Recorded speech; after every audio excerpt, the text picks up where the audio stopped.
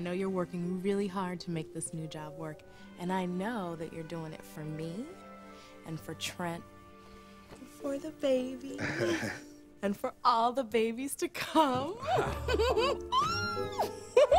Malcolm, I love you. All the babies to come? Yeah. You want to give me a number?